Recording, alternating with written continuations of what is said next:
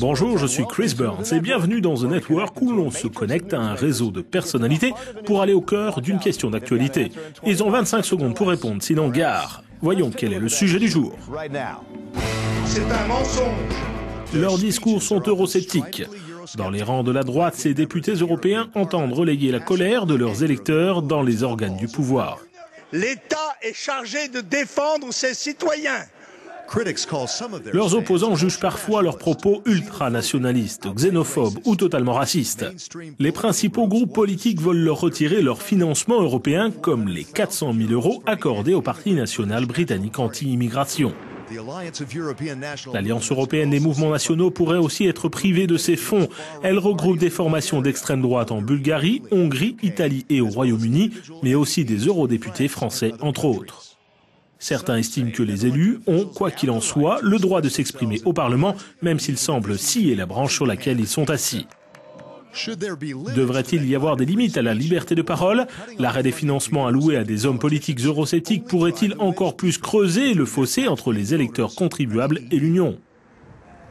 À présent connecté dans cette édition de The Network, depuis Londres, Alexandra Swan, journaliste, blogueuse et militante du UKIP, le Parti pour l'indépendance du Royaume-Uni, eurosceptique. Ici, au Parlement européen à Bruxelles, Emily Van Hout, professeure de sciences politiques à l'Université libre de Bruxelles. Et depuis Madrid, Enrique Guerrero, eurodéputé et vice-président du groupe socialiste et démocrate. Allez, première question pour vous, Enrique. Vous siégez à la commission des affaires constitutionnelles qui examine cette proposition. Pourquoi la réclamer aujourd'hui? Vous savez, ce n'est pas une question de liberté de parole. Chacun peut dire ce que bon lui semble. Ce n'est pas non plus une question d'euroscepticisme. Votre programme peut être eurosceptique et vous pouvez vous battre pour faire disparaître l'Union européenne. C'est en réalité une question de respect de la charte des droits fondamentaux. Alexandra, vous vous décrivez comme une anarcho-capitaliste. Est-ce que ça veut dire que vous réclamez qu'on ne finance plus aucun parti? Oui, tout à fait. Je pense que les partis politiques ne devraient absolument pas être financés par les contribuables. Mais je pense que si l'on finance les partis, il faut considérer que même si le Parti national britannique est tout à fait horrible et que je ne comprends pas comment des gens peuvent voter pour ses représentants, le fait est que près d'un million de personnes votent pour lui et ses électeurs méritent d'avoir les mêmes droits démocratiques et donc le même financement pour le parti qu'ils soutiennent. Ok, même s'ils tiennent des propos scandaleux. Émilie, qu'en pensez-vous? Je pense qu'il y a deux débats. Il y a un débat sur les critères et les conditions pour prétendre à un financement. Devrait-on établir ou durcir ces critères comme c'est le cas dans certains États membres, par exemple en Belgique? Ensuite, l'autre débat est de savoir qui va contrôler tout ça si on établit de nouvelles conditions, de nouveaux critères. Tout à fait. Enrique, quelles limites devrait-il y avoir à la liberté d'expression au sein du Parlement? La question, c'est quels sont les critères pour avoir droit à un financement public européen Et nous, au sein de la Commission des affaires constitutionnelles, nous avons décidé que s'il y a des accords, la décision finale devrait appartenir à la Cour européenne de justice. Alexandra, ne pensez-vous pas que mettre fin au financement du Parti national britannique, le PNB, pourrait aggraver les choses. Les contribuables eurosceptiques pourraient être encore plus mécontents. Comme je l'ai déjà dit, aucun parti politique ne devrait être financé.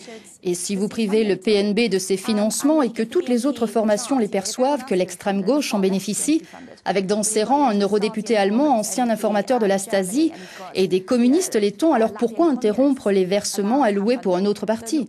Ce ne serait pas une bonne chose de ne plus donner de fonds au PNB parce que ça lui donne l'opportunité de se poser en victime et de gagner en soutien de cette façon. Émilie, les valeurs européennes sont-elles à ce point fragiles qu'elles aient besoin d'être protégées en limitant la liberté de parole au Parlement eh bien, cette question des valeurs, c'est un débat. Et je pense qu'il y a de multiples façons d'y répondre. Mais il faut aussi s'interroger sur les effets d'une telle mesure. Et ces effets ne sont pas évidents. Si vous prenez l'exemple de la Belgique notamment, un parti a été interdit, il a été poursuivi en justice, ensuite il s'est contenté de changer de nom et a pu de nouveau avoir droit à un financement européen. Enrique, voyez-vous les choses ainsi Plutôt que de cesser les financements, on pourrait poursuivre les fautifs en justice. Vous avez dit plusieurs fois que la liberté de parole est encadrée au Parlement, mais ce n'est pas le cas. À toutes les sessions plénières, j'entends M. Nigel Farage et les autres eurosceptiques européens dire ce qu'ils pensent, et ça ne pose pas de problème. Bien sûr, ils peuvent dire ce qu'ils pensent, mais devraient-ils être sanctionnés par un arrêt de leur financement? Je ne parle pas du UKIP, mais en général. Ce n'est pas une question d'idéologie, mais de comportement. Ce que je veux dire, c'est qu'on peut être républicain dans une monarchie, communiste dans un pays qui a instauré le libre marché, mais on ne peut pas offenser un autre être humain, on ne peut pas offenser les femmes sur la place qu'elles occupent dans la société, on ne peut pas prôner la violence comme moyen d'action politique.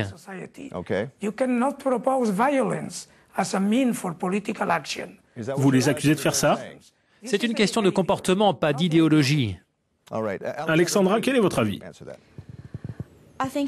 Je pense que c'est une pente très glissante quand on décide de stopper des financements et qu'un contrôle de l'argent est fait.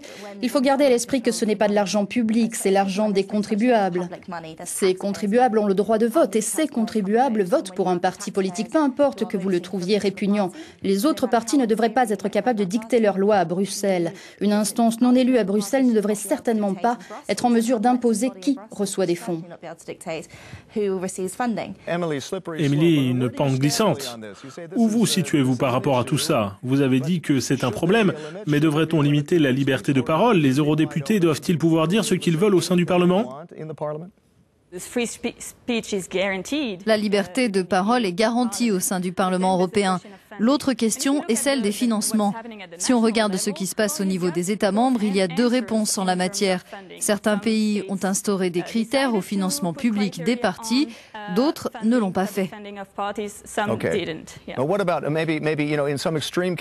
Et pour les cas extrêmes, on en a vu dans certains pays européens, on ne peut pas tenir des propos négationnistes ou susceptibles de provoquer la haine raciale. Y a-t-il des limites comme celle-là, Alexandra?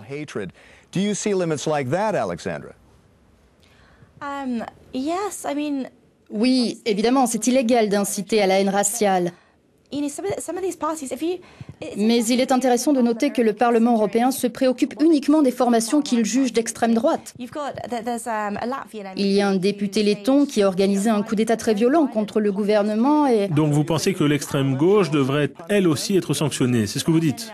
Non, non, personne ne devrait être sanctionné, mais si vous vous intéressez à la droite, la gauche a aussi des réponses à donner sur de nombreuses questions.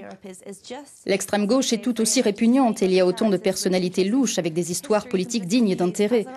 C'est parce que Bruxelles est une institution tellement orientée à gauche qu'évidemment on ne s'intéresse qu'à la droite et pas à la gauche. Émilie, si la mesure passe, si le financement de ce genre de parti politique s'arrête, quel en sera l'impact selon vous? L'impact sera plutôt minime parce que premièrement, la procédure pour faire cesser un financement est relativement longue. Et deuxièmement, parce que les partis peuvent se reformer et se présenter sous un autre nom. Et de cette façon, ils ont de nouveau droit à un financement. Ok, Enrique, ne craignez-vous pas d'alimenter la colère des contribuables qui soutiennent des partis comme cela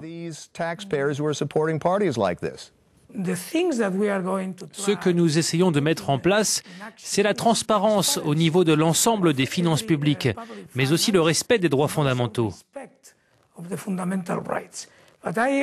Mais je suis d'accord avec la professeure belge. Il est assez difficile de stopper le financement des partis politiques, parce qu'au final, la justice défend aussi le droit pour les partis politiques d'exposer le contenu de leur programme. Sujet très complexe. Merci à vous tous. C'est tout pour aujourd'hui. Je voudrais remercier nos invités Alexandra Swan, Emily Van Hout et Enrique Guerrero. C'était Chris Burns et à bientôt pour une prochaine connexion à The Network.